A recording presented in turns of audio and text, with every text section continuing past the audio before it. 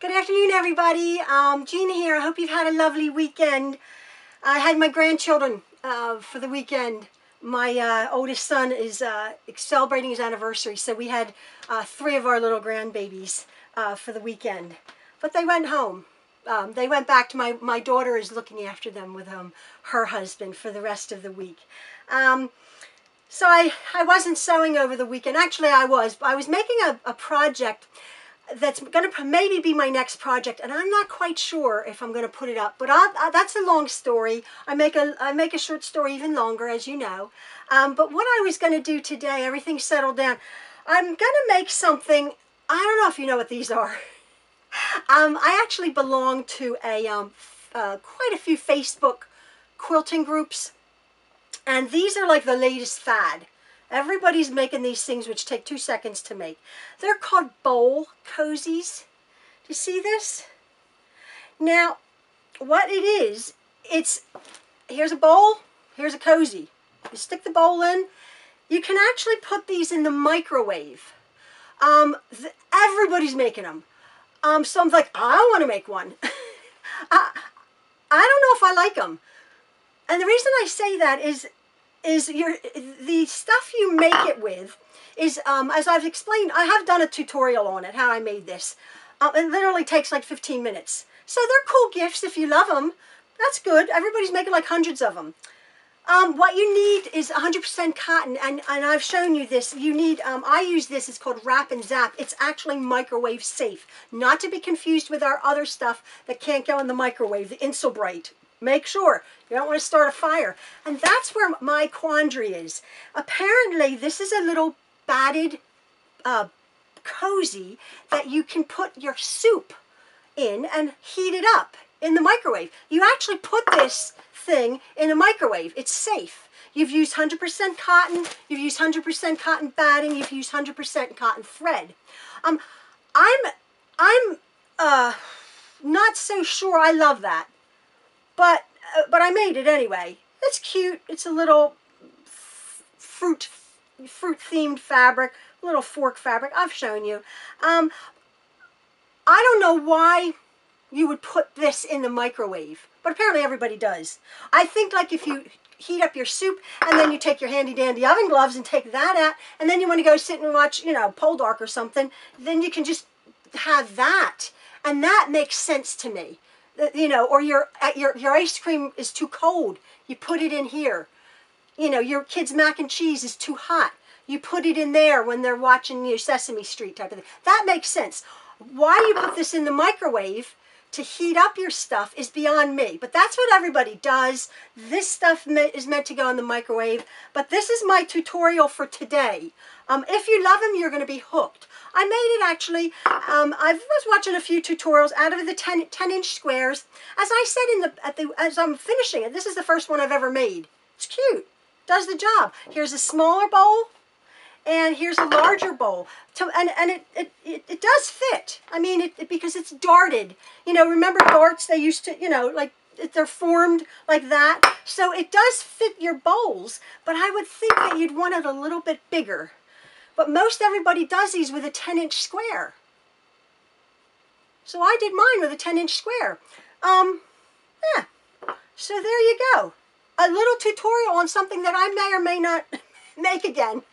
But you may love them. You may go, oh, that's just what I need, or my mother needs, or my kids need. They're so cute. They make great presents for the holidays. So have at it. If you love them, make them. They don't take very long. I've done a pretty good tutorial on it. Um, Maybe I'd make it a little bit bigger. Maybe I'd make it like 11 inch square. Maybe to make to accommodate a little bit bigger. But anyway, that's my little tutorial for today. A little bowl cozy, microwavable. You can put them in the microwave. It's 100% safe. Um, why you want to put something of fabric in the microwave is beyond me. But if you if you go on uh, any other YouTube, they stick the whole thing in the microwave. But I'm thinking, again, I'm thinking, it, it, what if your soup like splashes all over the place? Mind you, if you're in the microwave, and then your soup, you know, your soup could splash when you're sitting, you know, watching TV, or your ice cream. They are washable, of course they are. Um, but I, I just do what you want with these if you make them. Here's a little quick little tutorial for the day. Um, this is Jean here signing out. Uh, yeah, whatever. For my for my um bowl cozies, what we're going to start with, I'll show you, is you're wanting to cut two pieces of fabric 10 inches square. Um, I've chosen for this one, as you've seen, more of a um, uh, a foodie type of thing. Um, you can get this, this makes up nice in the novelty fabrics. The backing are spoons and forks. Um, or 10 inch squares. You can just pull from your 10 inch square pile from your um, layer cake So I have 10 inch squares of cotton fabric. Remember, very, very, very important, 100% cotton fabric. Not to be made with flannel. Um, I guess you could, but the, the, the instructions pretty much are 100% cotton fabric here. Um, then what you need is very, very important. Hopefully you can see, yeah. Um, I have this. This is from Pellon, and it's called Wrap and Zap. Um, it's a natural cotton batting um, and it's made exactly for microwavable projects, okay? It is microwave safe. Now, I've done a lot of research uh, on these silly little things, and the, the, the most important thing is you have to use 100% cotton fabric, 100% cotton thread, 100% cotton batting. Now, having said that, a lot of people choose to use their regular batting. As you know, I use Warm and Plush or Warm and Natural from the Warm Company, but I've even heard that they, even those batting, it says 100% cotton, they have tiny little, tiny, tiny little metal flakes in them. I don't know if that's true. It says 100% cotton. This cotton batting looks very similar to any other cotton batting I've ever, ever used, but for some miraculously, I don't know, idea, it is microwave safe. So if you indeed are, as I was saying, going to be putting these in the microwave, um, I would suggest you use this. Now there is from the Warm Company also, uh, who do a lot do batting. There is called Warm Tater. Um, again, I, have never seen that, but I have, again, read about it. And this is from Pellon. A lot of other companies have um, microwavable safe batting. Just be very, very uh, careful to use cotton batting. You don't want to put anything metal. If you remember our uh, oven gloves, we're not putting them in the microwave. Um, so the insul that, that, that uh, batting that I had was called Insul-Bright. You don't want to use that. That is for, uh, don't, it's not to be mistaken for the, this wrap and zap. Um, the Insul-Bright has metal in it, and obviously you don't want to be putting anything metal into your microwave. So that's that. 100% cotton batting, 100% cotton fabric. I have 100% cotton thread. We want our two, two 10-inch squares, and then what we want to do is our first step, our, before, our, before we sew, we want to have and I cut from here, we want to have two nine inch squares of batting. And all you're going to be doing is laying that on your, the wrong side of your fabric, pretty side down. You're going to just be centering this nine inch piece of batting onto your 10 inch square. Now I'm just going to go over to my machine and you could pin it if you want to secure it. I, I don't need to. I'm just going to stitch an X just across there. Now on the on the um the side the inside that you see, this is the backing. This is what you see that you set your bowl in. You might want to do even a decorative stitch along here. Maybe that's when your decorative stitches on your um, sewing machine could come. You could do that just just do it along there and you and um, you'll see how that turns out. I'm just going to be doing an X. This is a very, very simple, basic one. You could get all cute and quilt this inside. Um, I've seen that done in a grid pattern. Um, but I'm not going to do that. I'm literally just going to secure my batting down in an X for demonstration purposes. I'm going to go over to my machine and I'll be back having shown you how I've secured this down. So as you can see, I've stitched down my batting. I've used black thread because of the black and the black and the bobbin here. I've stitched down my X and you see these funky marks. I'm going to get to that right now. As you can see on both sides, there is my X. I just eyeballed it from corner to corner. Now, as we were, I was saying, these, we have to create the darts of this. Remember, remember in um, dressmaking, we created darts to, to form the, to form the um, shape so what you want to do is with any type of ruler, and I used a Sharpie for, again, for demonstration purposes because this will get cut out. Um, you can use a pencil or a chalk or whatever find you uh, works best for marking. What you want to do on all, all eight sides of, of the four uh, the four sides, both pieces, what you want to do is you want to take your rule and you want to you want to mark down from the top of the batting, not the top of the fabric.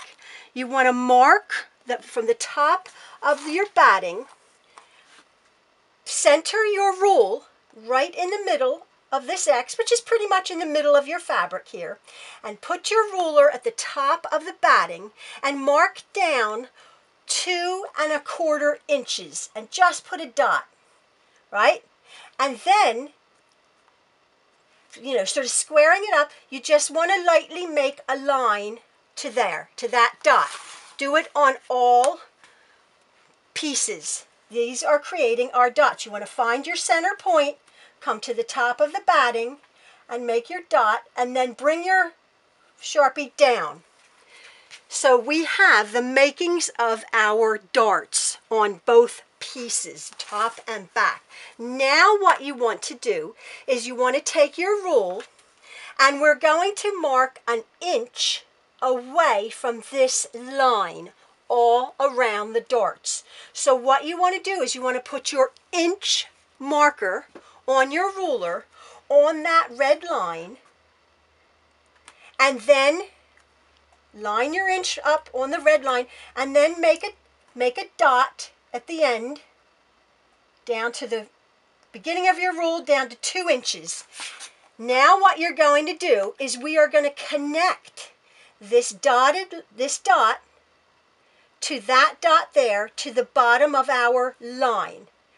So we're just going to take our Sharpie or our marker and just, you can see, make your, from the bottom and there you have our, our marked dart.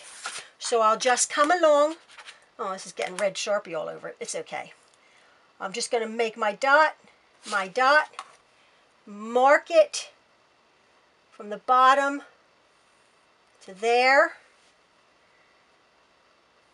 and to there. Now, I'll do that all the way around. Um, what you want to do next after you've marked everything, we're going to be stitching. Now this is important that you remember. We're going to be stitching on that red line. We're not going to we're not going to be stitching anywhere else. We're going to be stitching on the red line. So to make it a little bit easier, take a nice sharp pair of scissors. You can just eyeball this. Don't cut on the red line. Be very very careful. Just cut in about a quarter of an inch and take out this material here because then you'll see if you just stitch along there uh, cut along there I should say and then you're just taking this triangle of fabric out. You want some nice sharp scissors. And there what we're going to be doing is we're going to be folding this along. The edges match up and there is our dart. We're going to be stitching, stitch from the top down to the point. I back stitch here, I reinforce, and then I reinforce about a quarter, a half an inch away, and then I, I go off of, uh, as a dart is, you go off of your fabric at that point. You just go off your fabric. So remember that. I'll do this one. I've, I've, I've marked it along here. I'm going to go along, not on the red, about a quarter inch, and about a quarter inch, Get some nice sharp scissors. And we're going to do that. I'll mark this one here.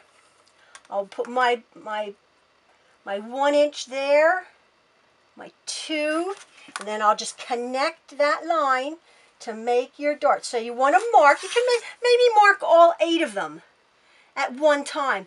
Once you do this, you'll freak out how quick and easy these are to make and how how effective and um, what a nice gift if you like them. I'm still debating whether I like them or not.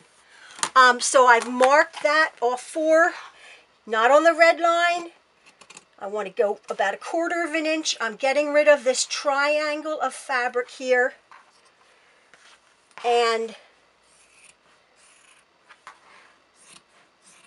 and uh, then I'm going to be stitching I'm going to be stitching this is what you end up with I'm going to be stitching my darts remember starting at the end of the fabric and stitching off of the batting and the fabric together might want to pin that if you're not you know if you're not sure and then we're just going to do that on all on both of these things and then I'll show you how to, we're going to connect them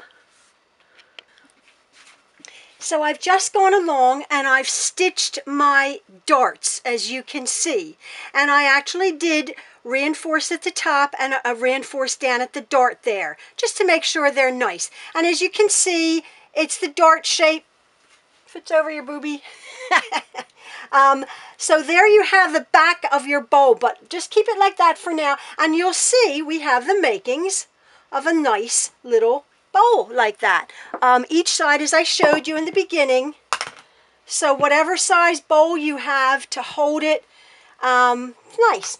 Now, just a little hint. We have this one now. I'm going to be doing, I'm going to be doing my, um, my, my front here, as I showed you. I've already cut out, but I just wanted to show you um, what I've done is if you make one and you quite enjoy making them, maybe what you want to do to save your time from marking with a ruler, which only takes a few seconds, but what I've actually done is I will, I've actually made a get my pair of scissors. I actually have made a pattern. Now I took two pieces of card and I've um, actually joined them together with tape um, because if I make quite a lot of these, what I've done is I've actually as you can see, there's my pattern. After I've cut my 10 inches, I've just come along and I've, or however, however it is, it should be the exact thing. That's it. Um, I've just cut my, I've just marked my pattern with my V's.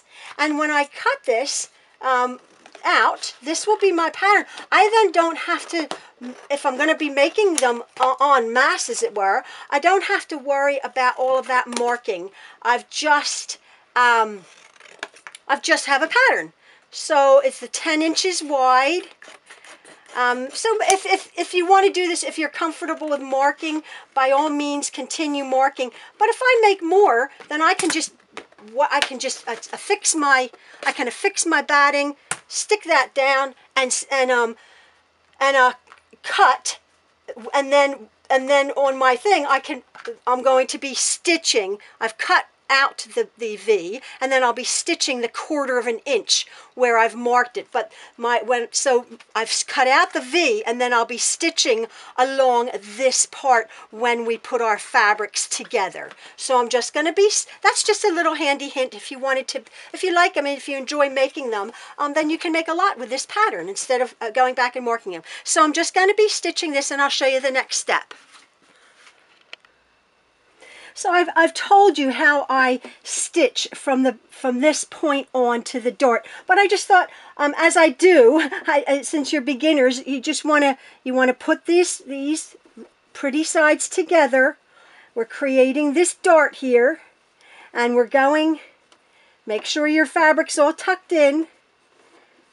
It's very important that your fabrics, your your pretty fabric's all tucked in, so you you create that dart and you start, what I do is I start on the batting because it's a little bit thicker. Um, and then I just back stitch up the fabric. And then I just come along pretty much on that red mark and then I back stitch again just to, just to secure this dart. And then right off. And there's my there's my seam, my dart all stitched on that um, on the pretty one. And I'll just go back. And again, when you stitch this, you want to make sure your fabric, your, your pretty sides are nice and even and they're together. You don't want any tucks on your front because this is what you're going to be seeing. Match up your tops there, match up your top here, and then just stitch, put the, put the edges together, and then just stitch along that red seam to make a perfect dart. So now that we've sewn our darts on both of our pieces, what we have are two bowl looking things. So now all we're going to be doing is we're going to be putting the pretty sides together, right sides together. Now what you want to do is um, e either or, but I, I take the top piece, this is what it looks like, and I'm going to just turn that inside out, make sure your darts are all nice and out, and you're going to be putting it inside your backing piece. Okay, you're going to be putting that inside. You're just, we're just stitching the right sides together. Um, where my pins? Oh, I don't know where my pins are.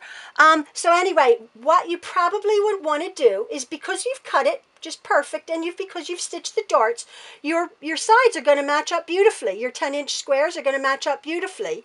Um, so you're going to want to be pinning this all along from corner down to the dart. And you want to just, you just want to perhaps, if you can, um, it's about half an inch, but if you can, do it about half an inch. If it if it catches this, that's good. If it doesn't, don't worry about it because we're going to come back and we are going to top stitch this bit here.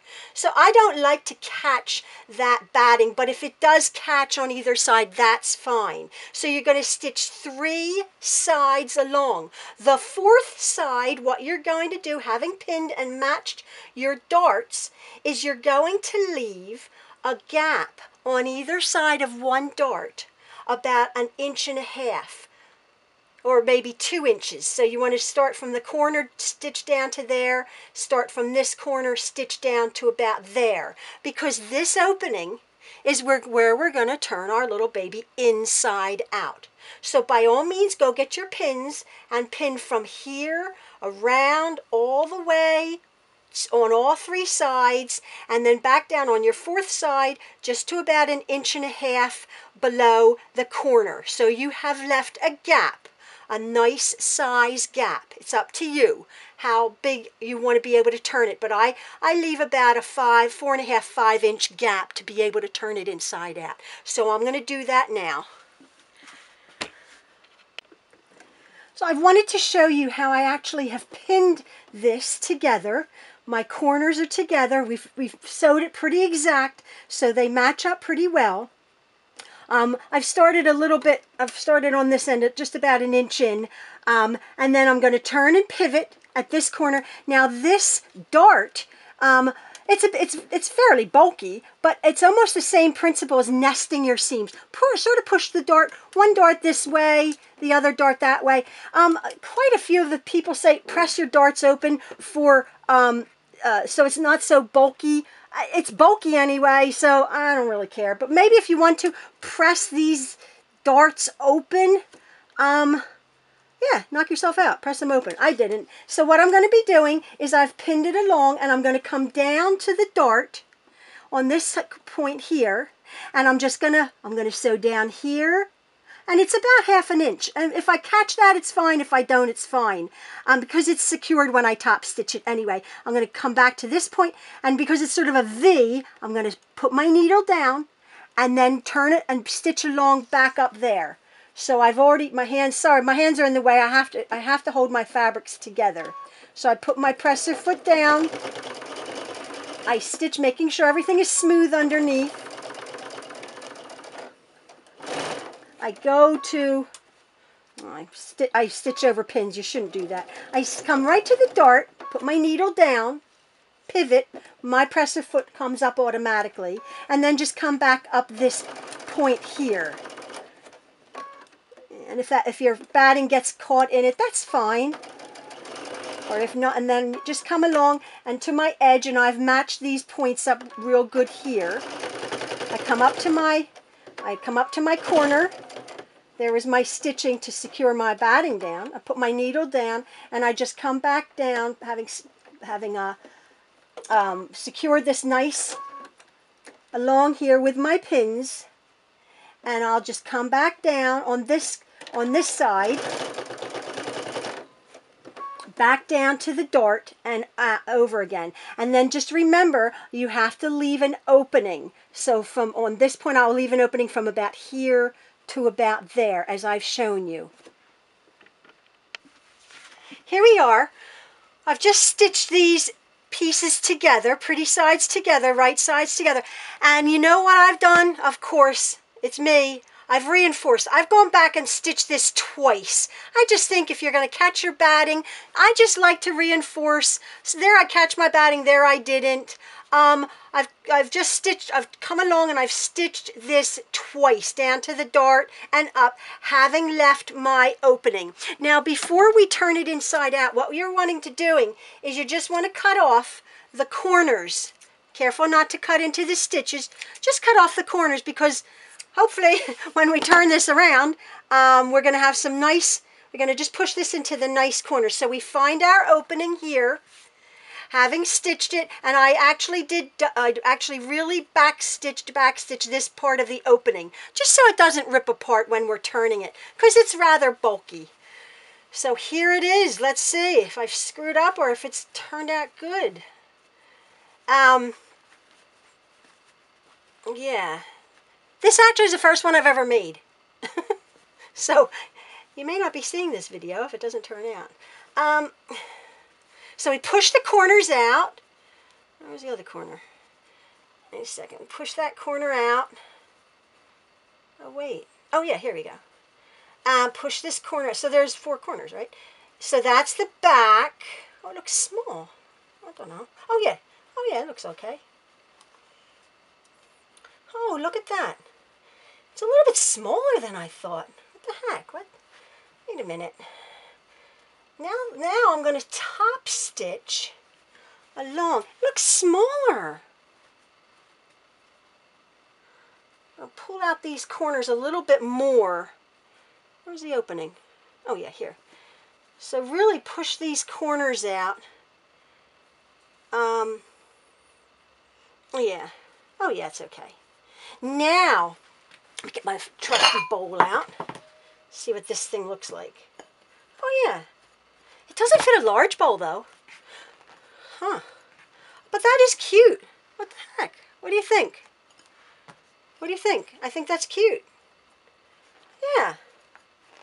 Actually, for ice cream, I guess a bowl of hot soup, it works. It works. Let's see the bigger one. Well, I've already seen this. Yeah, that works. It's not as big as I thought. Eh, whatever. That's a 10 inch square. Maybe you can do it a bit bigger. Anyway, it looks cute. so now what I'm going to do, it's a little bit thick here, oh, but I can do it. I'm just literally going to top stitch very, very closely to this edge. Again, just down and then up to the point and then up to this point. Um, there's a little bit left of um, fabric that doesn't have the batting in it. And then when we come to this bit here, you might want to pin it, tuck all that rubbish in. You might want to pin it down to the dart. And then just tuck those ends along. And that's the important part. Just top stitch right along there. And um yeah right right along the end. And um sort of push it into each other. Yeah it does actually it does it just sort of does get a bit bigger. Yeah. Yeah still don't know whether I like it or not anyway there's a microwave bowl cozy so, um, yeah, I, with this batting, I think if we use thinner batting, I'm surprised that the Zap, this batting is a little bit thick. So maybe, yeah, maybe if you use the 100% cotton, um, that's pretty thin. But, but maybe, I don't know, this is meant for this. So it's meant for it, and I feel safer that this is microwave safe. But I've seen other tutorials that you just use 100% cotton, but it's a little bit thick to my mind. Um, it's nice, it's nice. You're not going to burn your hands, and that's the whole point of it. Um, so yeah, Um, but maybe if I made another one, I'd actually make it maybe like 12, uh, 11 inches or 12 inches even um, to make it come out here. Although you don't have to, you're just, you're just doing that. So anyway, there's my little tutorial. If you like it, you like it. If you don't, that's cool. I'm not sure if I like it. Um, but anyway, they're all the rage. Everybody's making a million of them for gifts and whatever. Um, so yeah, it looks like a cute bowl. Looks It'll look nice in my kitchen. My kids will use it for ice cream or soup or something. So anyway, I hope you enjoyed this little tutorial. Thanks, folks.